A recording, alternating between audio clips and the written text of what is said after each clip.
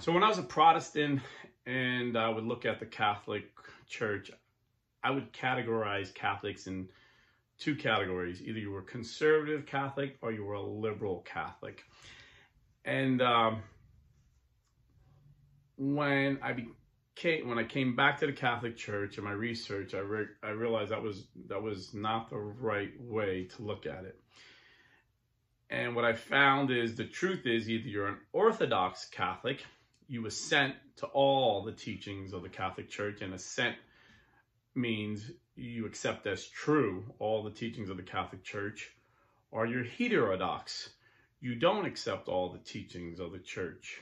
And um, so, you know, conservative, liberal, that's like an American term uh, we use with politics, and I uh, mistakenly put it on Catholics. And then early on in this YouTube channel, I had a couple guests uh, who are Orthodox, who uh, I still to this day view as friends. Uh, when I had them on, I, like I was surprised at how many new subscribers I got because these were very popular guys. Uh, and then I heard um, there were rad trads, which means radical traditionalists. So I tried to see, well, what was different between them and I? And we were both Orthodox. We accepted all the teachings of the church. Uh, you know, uh, strong pro-life, strong traditional family. The Eucharist is the body and blood. You know, just basically just we're. I said, well, we're just Catholics. I don't know where they they come with that. And then someone said, well, they prefer the traditional Latin Mass. Uh, I'm like, well, I know, um, you know, Orthodox that prefer the Novus Ordo, that you know, the the new Mass that 90% of it goes. So I said, that doesn't make them radical either way, you know. Uh, and then the more and the more I, I studied it, I realized the difference was even these two gentlemen that I consider friends and good Catholics, um, they were very critical of Pope Francis. And um, although they didn't, you know, come out and say anything heretical like Taylor Marshall and call the Pope a heretic, or uh, they weren't sedevacantists like uh, Father James Altman and say the Pope isn't the Pope or the Pope is the Antichrist and the Pope should go to hell. Uh, but they were very critical of um, Pope Francis. So I've seen these people that are called rad trads. I don't know if they, you know, started that themselves or the people call them. The only difference I see in them is, for me, is they're very critical of the Pope. And, you know, words change over time. Uh, like the word naughty, for example, used to mean nothing. It used to mean if you were naughty, you had nothing. You had zero. It comes from the word naught, nothing. And then it was thought that if you had nothing, if you had naught, you were bad. So you became naughty. So now what naughty means is, you know, before Rob met Jesus, he was a naughty boy. so the word radical, uh, I think, changed in a lot of Catholic circles uh, to mean that you disobey the Pope because uh, you you you disagree. You you're very critical, and it and it's a spectrum. There's those that are still Orthodox, like the couple guys I had on. They're still Orthodox, because they're not sedevacantists, um, and they've never called the Pope her- a heretic, which is her- heretical. The only person who gets to do that is another Pope, so you wait for the Pope to die. I mean, that's clear in tradition and it's clear in church teaching. So I feel like that name's been changed. I don't know who changed it, if, you know, like they just, people that are considered rad trads just accepted it, or if they came up with it. I actually haven't found the origin, to be honest with you. But the more I studied it, uh, the more I realized the people that are referring to as rad trads aren't radical because the most popular YouTuber, uh, Taylor Marshall, makes a living out of bashing the Pope daily, you know? And when I had these guys that were considered rad trads, I got a lot of subscribers. And then when I started to defend the Pope and say, no, the Pope didn't say that, and, you know, like, you know, uh, famous one was Taylor Marshall said the, the Pope said homosexuality is not a crime And I said, and then and everyone says, oh, he's saying it's not a sin, you know, because he misled his believer, his followers to think Pope Francis said homosexual is not a sin. And I've read the whole statement. Pope Francis actually said homosexuality is a sin, but it's not a crime. And he was saying that because he was talking to governments that were killing homosexuals. So he was trying to save life. Um, but he said it is a sin. And then, you know, have, uh, you know, these Taylor Marshall leading his people to believe that the Pope is going to bless same-sex unions. And over and over again, I quote the Pope, the church cannot bless same-sex unions because the church, because God cannot bless sin.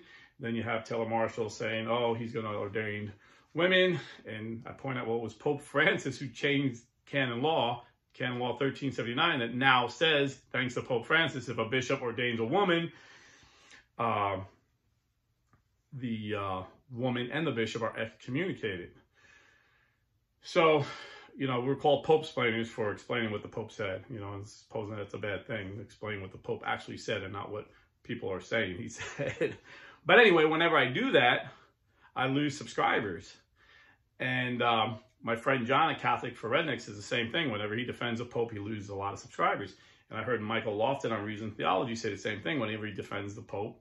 And, and you can see the emails, like it's, or the comments get nasty. But if you look on these popular guys, um, that bash the Pope, when they bash him, they get, I never see any disagreements in the comments. I see thousands of comments when, you know, that he called the Pope a heretic, thousands of, you know, positive comments. You go there.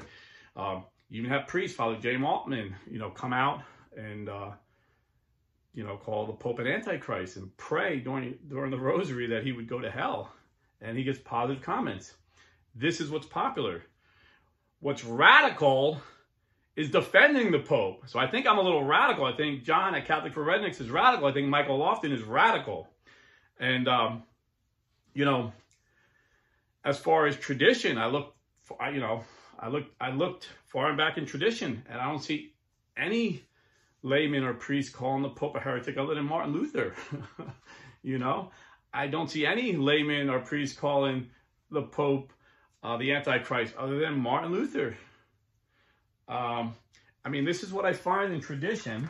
Um, this is what I find in tradition. And this is what I, you know, I think is radical today. Um, you know, when St. Padre Pio was told he can't uh, say Mass and was punished unjustly, and we found out that it was unjust, the church was wrong. Um, the person, a very close person to him, writing his his biography said this it was difficult. It was a difficult cross for him to bear, but he obeyed and submitted to the decree. The superior of the monastery read the Padre Pio the decree, and the saintly friar responded, God's will be done. The will of the superiors is the will of God. And he had a bunch of Catholics that were protesting uh, this decree, and he scolded them. He said, You go home. The will of my superiors is the will of God. You obey the will of God. And he went, he was quiet. I think it was like 12 years. He couldn't say public mass. Now compare that to what they call radical. That's radical. That is radical. And that is tradition. Compare this priest they call radical, a radical tradition in James Altman. When he was told not to preach, he still preaches. He told not to wear a collar. He's still wearing his collar.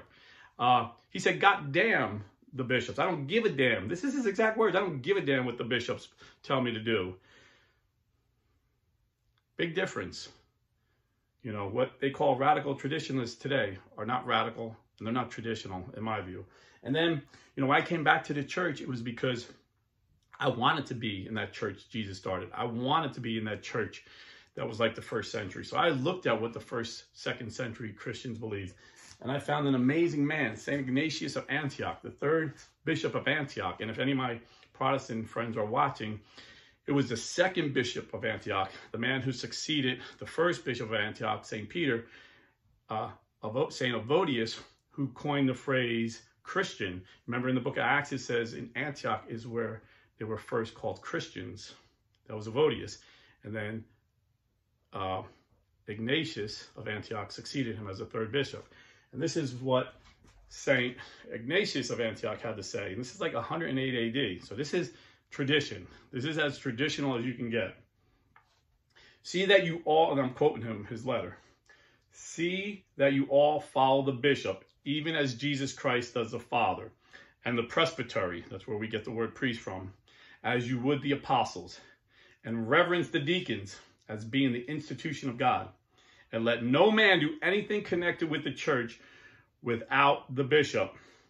Let that be deemed a proper Eucharist, which is administered either by the bishop or by one to whom he has entrusted it to. Wherever the bishop shall appear, there let the multitude of people also be. Even as wherever Jesus Christ is, there is the Catholic Church. It is not lawful without the bishop either to baptize or to celebrate a love feast. But whatsoever he shall approve of, that is also pleasing to God, so that everything that is done may be secure and valid. Moreover, it is in, it is in accordance with reason that we should return to soberness of conduct. And while yet we have opportunity, exercise repentance towards God. It is well to reverence both God and the bishop. He who honors the bishop has been honored by God. He who does anything without the knowledge of the bishop does in reality serve the devil. Let all things then abound to you through grace. For you are worthy. You have refreshed me in all things, and Jesus Christ shall refresh you. You have loved me when absent as well as when present. May God recompense you. For whose sake, while you endure all things, you shall attain unto him. That's radical. That's traditional. Honoring your bishop. So these guys that are really popular, making a lot of money, bashing the truth, the the the, the church, and, and bashing the uh, Pope are not traditional and they're not radical. What's radical guys like me, Lofton, and Catholic for Rednecks that lose subscribers uh, and don't make any money doing this. But we defend the Pope anyway because that's tradition. So I guess I have to confess I'm a radical traditionalist. God bless and stay Catholic.